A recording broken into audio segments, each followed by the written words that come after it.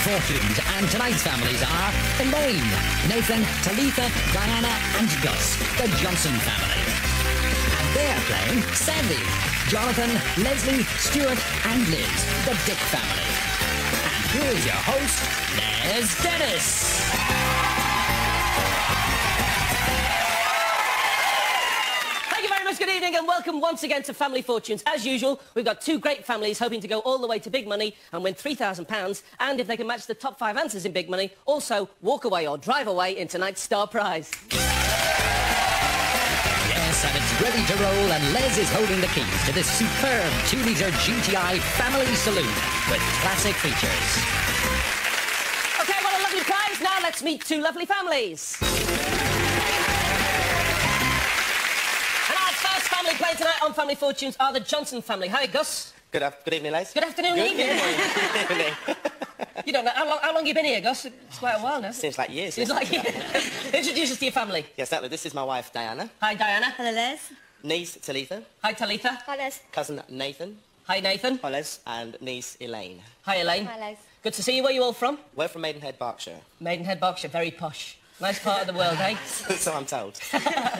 Gus, what, what- what's, it, what's it short for, Diana? What's it? It's short for Augustine, Mojisola, Adonai, Bambushe, Awashika, Adagoke, Johnson. You've got all those names. All right, well, that's the Johnson family. Let's go over now and meet the Dick family.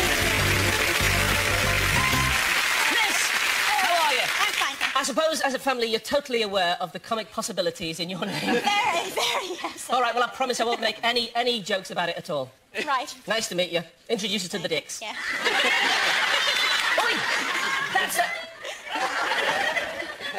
My husband Stuart, Hi, Stuart. Hello. my son Leslie, Hi, Leslie. my son Hi, Les. Jonathan, and Hi, my, Jonathan. Sister, my sister Sandy. Hello, Les. Hi, Sandy. You didn't let them get in then. Sorry, I'm sorry. Great, and so you do have trouble with the name, do you? Hello. More than you can say. You're head of the family. Yes. So that makes you the boss. Yes. And you're actually the shortest of the family, but don't worry, size isn't important. That's the families. We hope that you're ready to play at home as we play Family Fortunes. Come on, Liz. Meet Gus. Top seven answers. Right, we asked 100 people to name someone who might know more about a man than his wife. Gus, The father. The father. Let's have a look for his dad. Relation is the top answer. Mother, father, uncle, whatever. So, what do you want to do as a family? Pass. You're going to pass it over? OK, all right. That means that we come over to the Dick family. Stuart, you, were, you met as childhood sweethearts. Yes, Les, we've, uh, we've known one another for oh, some 50 years. In fact, uh, where I first met Elizabeth, I think, was stamping her League of Church Loyalty card every Sunday at church. I knew you were just a little, Stuart. it's them. I promise you, it's them. Great, Stuart, what do you think? Uh, his boss. His boss. His boss. No, so we lose a life there. Hi, Leslie. You Hi, prefer Les. Leslie, I prefer Les. Oh, well, I'm known as Les as well. You're Yeah, known as Les as yeah. well. Great. And what do you get up to? Well, uh, I work for uh, Brokers in Belfast, and I'm also involved in the Boys Brigade, local company. All right, you- you're in the, the Boys Brigade marching band. That, well, yes, I have been involved in the band as well, yes. What, what, what, what instrument do you play? I used to play the bell lyre. The what? The bell lyre, a glockenspiel. what do you think? His doctor. A doctor. Yes, well played. Good answer, Leslie. And that answer has won you a prize as well. Steve will tell us what that prize is. Yes, Leslie, and it's a prize that you can share with your mum and dad. You've won this MIDI hi-fi with CD.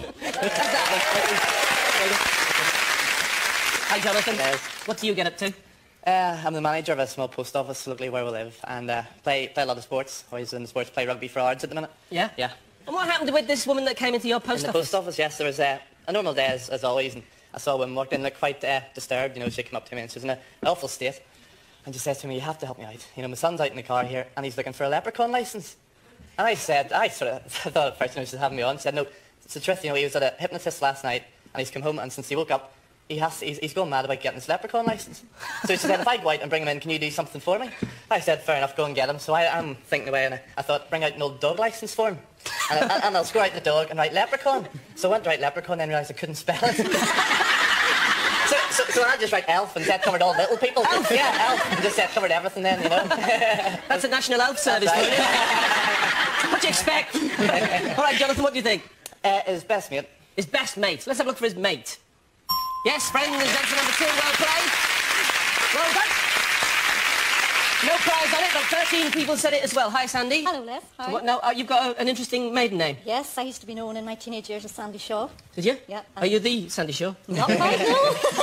and if I had gone out and anybody had asked me na- my name, they would have sort of answered back, oh yes, I am Cliff Richards or Elvis Presley or anything like that. Yeah. Used to really annoy You changed it to a better name then, didn't you? Yes. Instead, What do you think? uh, mistress. Let's have a look for Mistress. it's actually there. That's right, girlfriend. Two people said it. Liz, Pal. That's friend. pal, that's friend. Gonna need an answer from you though, Liz. Beg your pardon? No, nothing. So that means that two lives have gone and the Johnsons might get a chance to steal. Stuart, can you save the game?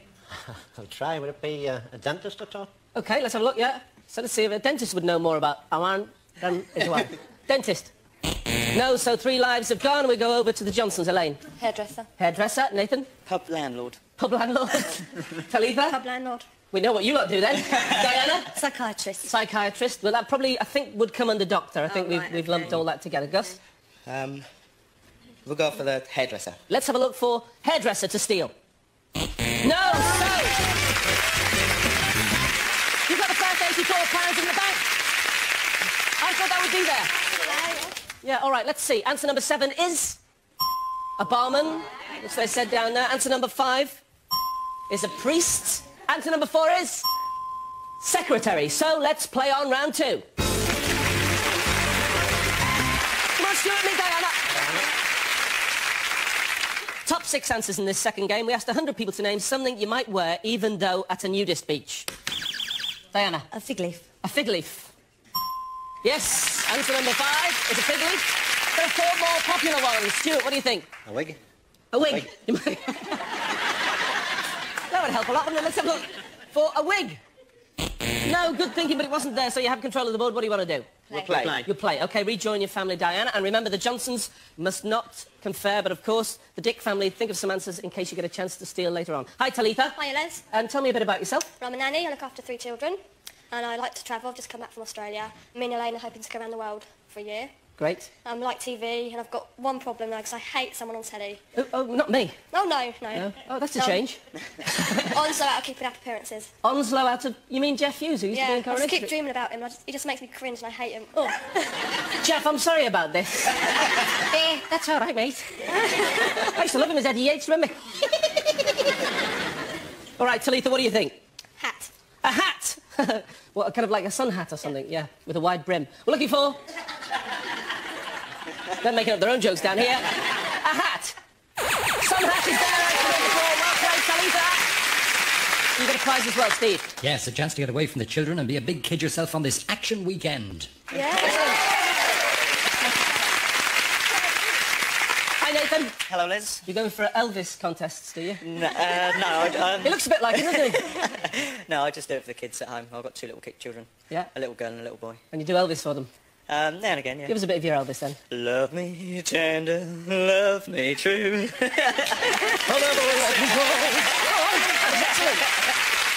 you go? Hold on. That looks great behind there. Stay there. Nathan, what do you think? uh, beach towel. A beach towel you might wear, or um, a nudist might wear, a beach towel. No, so we lose a life. Elaine. Tell me about the time you went to Henley Regatta. Well, every year our family go to Henley Regatta on a boat. Right, well, that would make sense. Yeah. On a boat. Generally. um, we're chugging up the river, um, one Henley Regatta, and we're passing the royal box. And as, um, as we are passing the royal box and doing so, I go up the front to see my auntie to have a drink there. And as I go up the side of the boat, I fell in. You fell in. Yeah. In front of the royal family? yeah. What did they do? Applauded. Marvellous. Something you might wear, even though it's a nudist beach. Jewellery. Jewellery. Excellent. Answer number one. Okay, Gus, got an answer for me? Um, with a cross.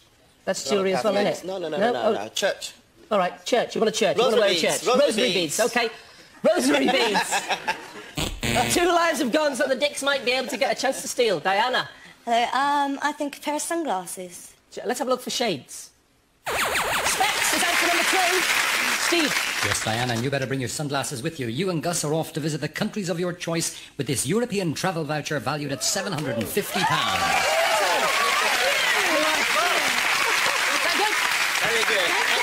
where are you going to go? we'll, have to discuss it. Yeah. Take your rosary right. beads, Gus. he doesn't need the sun, though, does he? Talitha, what do you think? Suntan lotion. Suntan lotion they might wear. Good answer, but not there. So, what do we think? Sandy? Shoes? Shoes? Makeup. Makeup? Shoes. Shoes? A smile? A smile? Liz, what do you think? We'll go for a smile. Okay, all right. or it might be a laugh, depending on what you see. We're looking forward to Steal the Money, a smile. Yes! Down to number six, well done. You get the money in the bank. And the missing answer, number three, on something you might wear even though it's a nudist beach is... Trainers. All right, let's play on. Leslie and Talitha. Top six answers. We asked 100 people to name something for which you need a ticket. Talitha. Train. The train. Yes, it's the top answer. What do you want to do? Good, good, yeah. You have to play because you need some points, okay? Rejoin, no conferring. Nathan. Plane ticket. A plane ticket. We've got a train now. We're looking for a plane. Airplane is answer number five. Well played. Elaine. Bus. Bus. A bus. You need a, a bus ticket. Is answer number two. You got a prize. Could be a while before you're catching a bus again. You've won this terrific mountain bike. Right, well played. Gus. Uh, auditorium or theatre ticket. Auditorium. Okay, Cinema. theatre. A theatre or cinema. Let's have a look for that. Cinema or theatre is answer number three. Diana, you're going well. There are no lives lost and there are only two answers to find. What do you think? a library ticket? All right, you might need a ticket ticket. to take your library books back. nope, good answer, but it isn't there. Talitha. Lottery ticket. A lottery ticket, okay? Mystic Meg. Two lives have gone, so Nathan, what do you think? Football ticket. A football ticket. Yes. Well played. Elaine, what do you think? Car parking ticket. A car parking ticket. Parking ticket, well played. You get a clean sweep. And you win the money. On that round anyway. It means there are no answers to reveal, and as we go into the break, the Dick family have £167 in the bank, and the Johnsons have £98. Join us in a couple of minutes when one of our families will have a chance to play for £3,000 and the car. We'll see you then.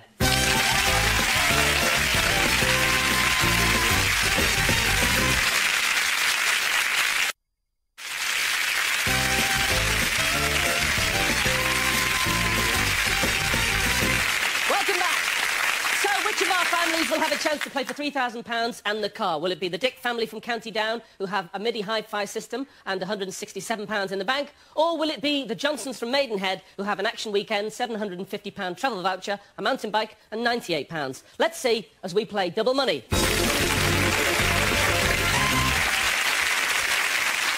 Jonathan, meet Nathan. All right. Double money means just that. All the answers revealed are worth twice the price they were before the break. Top five answers in this first game. We asked 100 people to name a food that is hard to keep on your fork. Jonathan. Peas. Peas. Peas. Peas. Sounds like Blockbusters looking for a pea bob. There it is. Number two. Nathan. Need something from me? Salad. Salad. Let's have a look for salad. No, so you have control, Jonathan. What do you want to do? Play, play. Okay, rejoin, no conferring. So, Sandy, what do you think? Uh, spaghetti. Spaghetti. Let's have a look for that. Spaghetti. Yes. Top answer. Three to find yes. Baked beans. Baked beans. Let's have a look for that. Baked beans. Beans is answer number four. A, B. Do it. Scrambled egg? Scrambled egg. No, so we lose a life. Leslie. Um, sweet corn. Sweet corn. Let's have a look for sweet corn. No, so two lives have gone and the Johnsons might steal. Jonathan. Mashed potato. Mashed potato. No, so the three lives have gone and we come over to the Johnsons. Elaine. Rice. Rice. Nathan. Pasta. Pasta, which spaghetti maybe covered that. Talitha. Noodles. Noodles. Diana. Soup. Soup. you use a fork, do you, Diana? Gus, any ideas? Uh, we'll go for rice. We're looking forward to stay in the game. Rice. Yeah! Good hand handshake. And answer number five is... Pickled onions, especially the last one in the jar. You can never get it out, can you? All right, let's play on.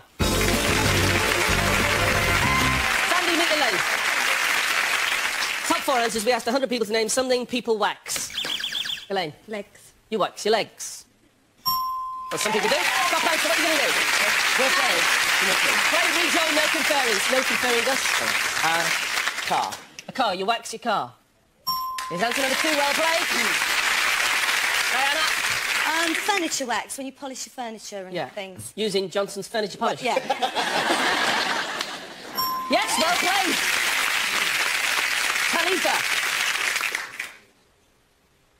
29. If it's there, you're going through to big money. no, so a life goes. Nathan, go carefully. Coat, barber jacket. Barbour jacket. All right, you might wax a coat. Two lives are gone. The dicks might get in. Elaine? Silver cutlery. Whatever. Silver cutlery. No, so can the dicks get back into the game and go through to big money? Sandy? Eyebrows. Eyebrows. Skis. Skis. Moustache. Moustache, yes. Moustache. Moustache. They're all good answers, Liz. What do you think? We go for skis. All right, if skis is the missing answer number four, then you're playing big money. If not, it's the Johnsons. We're looking for skis. It is a Anything behind, you're playing big money. Hard luck have to lose. What a close game that was. You're going back to County Down with the MIDI Hi-Fi and CD and £167. You've been smashing contestants. Have you enjoyed the day? Before you go, we'll reveal that missing answer number four on Something People Wax is... Wax the floor. A lovely family, a good family. Congratulations, Gus. Thank you very much, mate. Who's playing big money? Diana and myself. Diana and Gus, join me at the mic, please. Okay, Diana, you're playing first. Gus, go and put the headset on and we'll call you back when we're ready for you. Right. Five questions, 15 seconds to answer, and the time doesn't begin until I finish asking the first question. Is that clear? Yes. You need 200 points between the two of you, and the top five answers on top of those 200 points to win the car as well. All right? Right. Good luck. Can I have 15 seconds on the clock, please? Name a game which can be played with a white ball. Tennis. Something people do in traffic jams. Beat their horns. A type of ship used by the Royal Navy. Uh, a, a a submarine. A James Bond movie. Um, never say die. A symbol of love. Uh, kiss. Just in time there, I think. We just got it on that buzzer. We don't know no. Sounds all right to me. Let's see how we did. Right. First of all, I asked you to name a game which can be played with a white ball. You said tennis. Our survey said 30. Good start. It's not a top answer, but it's a good answer. Something people do in traffic jams. You said beep horn. Our survey said top answer. We got one. We got 55. There's two of you to get five. A type of ship used by the Royal Navy. You said submarine. Our survey said 20. Ah! Put your arm round me. Go on. right, we got 75. A James Bond movie. You said Never Say Die. Our survey said nothing for that. And a symbol of love. You said kiss. Our survey said nothing for kiss. But we got 75. It's not bad. Rejoin your family. We'll clear the board and bring Gus back. Welcome back, Gus. All right, Diana has scored 75 and found one top answer. So four top answers are there and, and quite a lot of uh, points still to get. We need 125. You have to get those 125 and the other four top answers to also, on top of the £3,000, win the car. 20 seconds. It can be done. 20 seconds to answer. And if you duplicate any of the answers, you'll hear this sound. And I'll ask you for another. Can we remind the audience at home of the answers we've had from Diana? And can I have 20 seconds on the clock, please? Good luck. Name a game which can be played with a white ball. Tennis. Another. Table tennis. Something people do in traffic jams. Blow their horns. Another.